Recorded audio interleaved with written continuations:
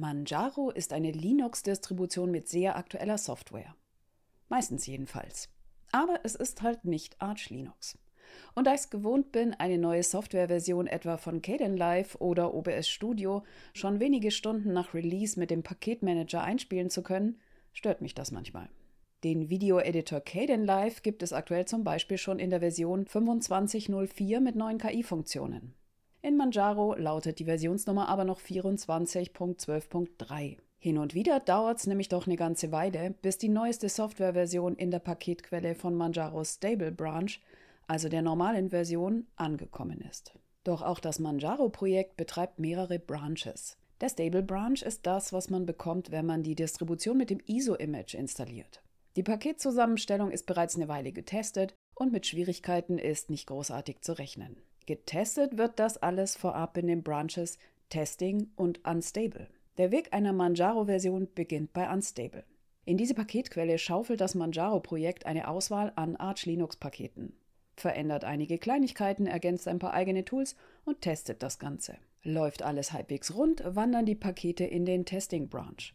Dort werden noch ein paar Feinheiten getestet, dann ist alles reif für Stable. Welchen der drei Branches das System gerade benutzt, verrät der Befehl pacman-mirrors G.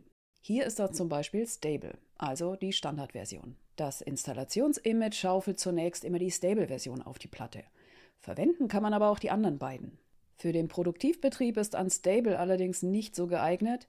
Wenn es hier zu Problemen kommt, muss man sich selbst zu helfen wissen. Testing wiederum sollte im Großen und Ganzen eigentlich schon rund laufen. Ich selbst benutze auf einem Notebook bereits seit geraumer Zeit Testing und will das nun auch hier auf meinem Gaming-PC umstellen. Dazu spiele ich erstmal alle Updates ein und starte gegebenenfalls den Rechner nochmal neu. Als nächstes stelle ich die Paketquellen mit dem Tool Pacman Mirrors auf den gewünschten Branch um. Den muss ich sudo voranstellen, weil ich dafür natürlich Adminrechte brauche. Also tippe ich folgenden Befehl: sudo pacman-mirrors minus minus API minus minus set minus branch Testing. Das heißt, als letztes trage ich ein, welchen Branch ich nutzen will.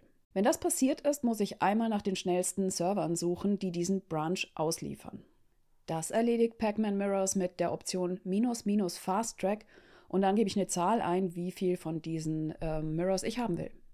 Dann ist es soweit, dass ich die Paketquellen aktualisieren kann und die neueren Pakete einspielen kann. Wenn da erstmal nur wenige Pakete angeboten werden, dann fehlen noch die aktuellsten Paketinformationen. Dann gebe ich einfach nochmal sudo pacman-groß SYY ein. Wenn alle Pakete eingespielt sind, dann ist ein Neustart fällig, weil da sind auf jeden Fall sowas wie ein neuer Kernel und wahrscheinlich auch neue Grafiktreiber und solche Sachen mitgekommen. Und um die zu verwenden, muss ich natürlich das System neu starten. Jetzt sollte auch von Kdenlive die aktuelle Version da sein. Wollt ihr mehr über eine der KI-Funktionen wissen, nämlich zum Beispiel die Transkription und Übersetzung mit Whisper, dann schaut euch doch das Video an, das ich euch hier in den Abspann einbinde. Und den Link findet ihr auch unten in der Beschreibung. Das war es erstmal von mir. Wenn ihr Manjaro benutzt, welchen Branch benutzt ihr? Seid ihr noch auf Stable? Fehlen euch da aktuelle Pakete? Schreibt mir gern was dazu in die Kommentare. Bis zum nächsten Mal.